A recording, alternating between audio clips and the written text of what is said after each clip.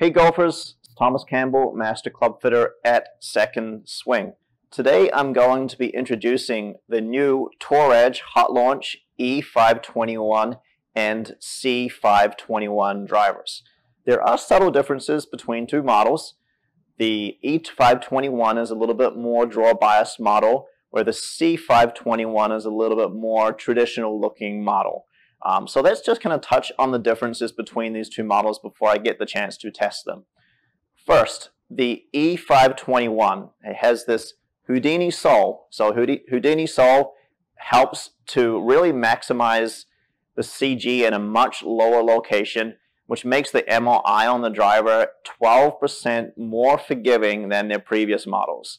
So as we're testing today, I'm going to expect that this model is going to fly a little bit higher and be very, very forgiving. It also has a little bit more of a shallow face. Shallow face is also going to help get that ball to launch in the ball in the air a little bit easier. And it also has offset on it. Now, offset kind of has been switched off in the last few years on driver models because there has been adjustability options. Now, the Tour Edge E521 and C521 are not adjustable, so this model still has some offset. It also is set up one degree closed at setup, and also has a little more draw bias. So this is your club. If you're really trying to get that ball to go left and you're having a hard time with slicing the ball, be a great option for you. Um, the E521 comes in the Fubuki golf shaft. It has a ladies flex all the way up to stiff flex option, and it retails at $229.99. There are three loft options. You've got a 10.5 degree, a 12 degree, and the HL option. The HL is about 15 degrees of loft on it. So this is your club that if you want to get the ball to go high and go a little more to the left, it's a great option. We also are going to be testing the C521 today as well.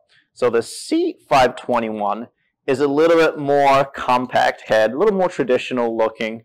Um, I believe Tour Edge used the word C for a competitive spec. So essentially, it's a little bit more of kind of a competitor's head compared to other models out there that are maybe going to be go a little bit further with a little bit lower spin. Um, it has they have introduced the diamond face. So the diamond face that has been in Tour Edge's previous more premium models. Um, I believe that this E521 also has this in their club. Um, but this is also a very extremely high MOI model. It is 8%, um, even more forgiving than the previous Tour Edge's driver models. So great option for those players that are looking for maybe a little bit more of a player's look to it. Maybe not going to go quite as far left, but it's definitely going to be a great option. The C521 comes in three loft options. 9 degrees, 10.5 degrees, and 12 degrees. Uh, both the C521 and the E521 are built in the US.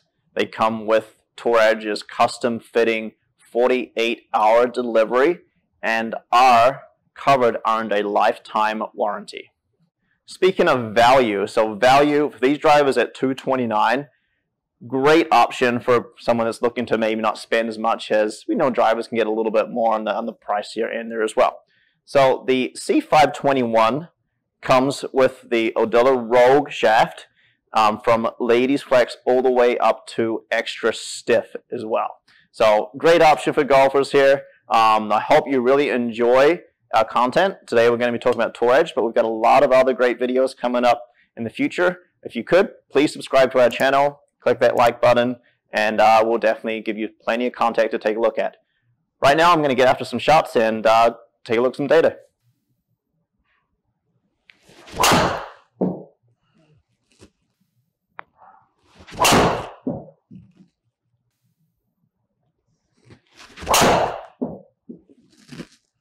So those were the first five swings with the C521. Now it's time to hit five shots with the E521.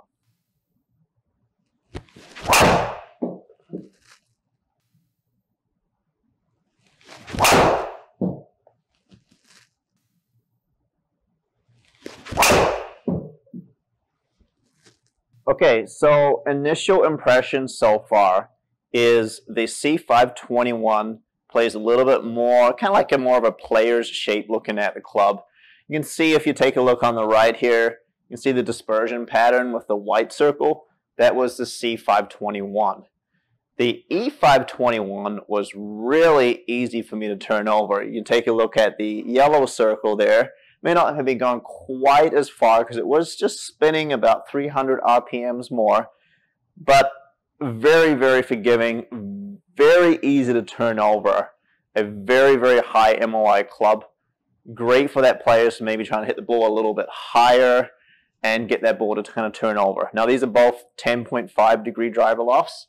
You'll notice the launch angle at 15.7 with the E521 and 14.2 with the C521. Now I'm going to hit five more with each one just to validate the data, and now we'll take a look at some numbers.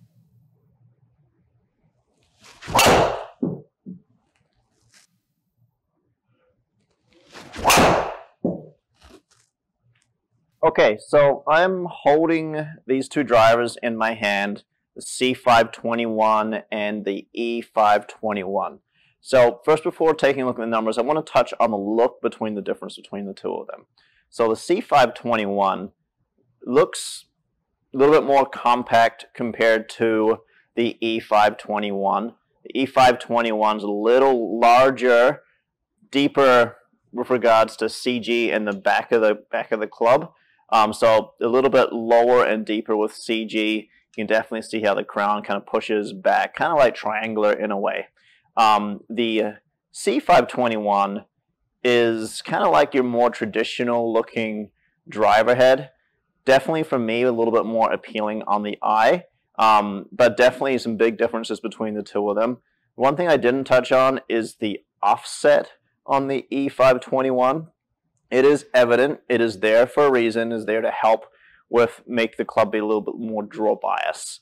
And kind of jumping over here to kind of maybe take a look at the dispersion really quickly, you will notice with the E521, I had one shot that was right of center here. So that's this shot right here.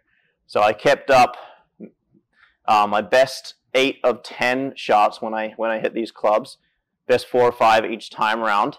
But you can definitely notice how furthest one to the right was about five yards to the right. The uh, furthest to the left was about 15 yards to the left. So very, very good dispersion pattern going on with the E521. A little bit more draw bias.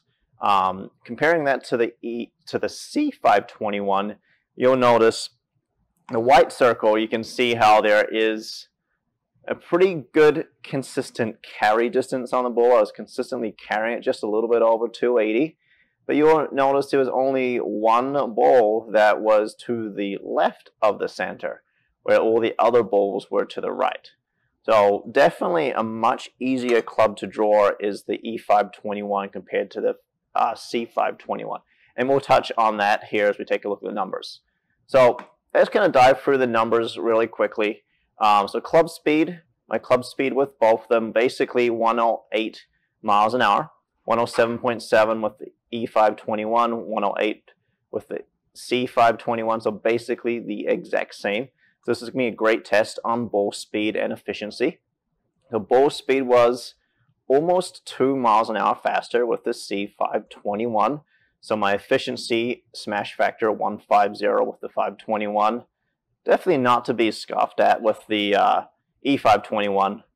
149 smash factor is very, very, very good regards to efficiency as well. So very forgiving models. Um, if you take a look at spin rate, this is really, really interesting. The C521 was spinning about 2368 on average with a consistency of plus or minus 200. The E521 spinning 2967 with a consistency of 372. So C521 spinning a little bit less and also consistency consistently a little bit less. The E521 was spinning a little bit more, about 600 RPMs more um, than the C521 as well.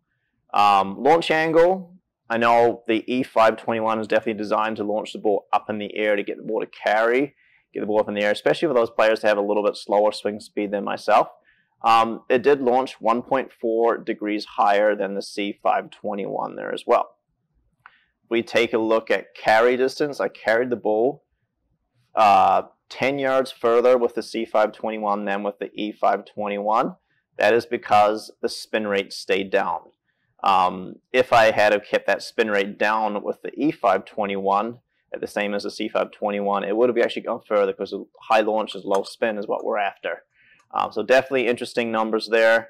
Um, if we take a look across here, I mentioned I wanted to touch on interesting numbers and why the ball was going a little bit to the left. So offset. Offset on the E521 helped me to close my face angle to my path.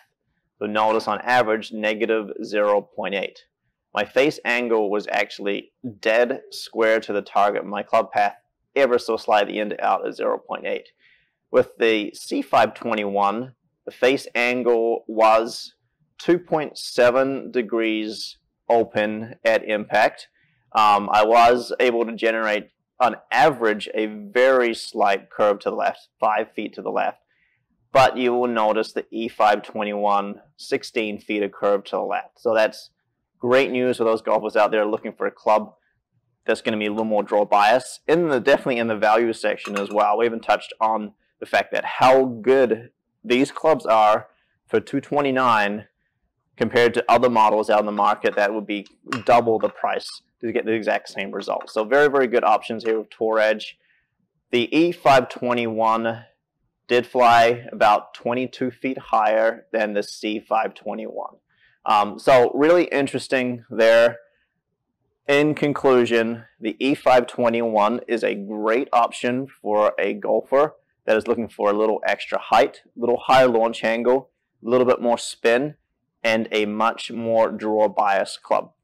The C521 plays a little bit more kind of like a, a player's club per se compared to the E521. Still definitely in the more kind of game improvement category, but it is a great value club for a little bit lower spinning option. Um, maybe not quite as draw bias, but also very, very forgiving. So these are some great options from Tour Edge. The Tour Edge Hot Launch is going to be really good here going forward in 2021.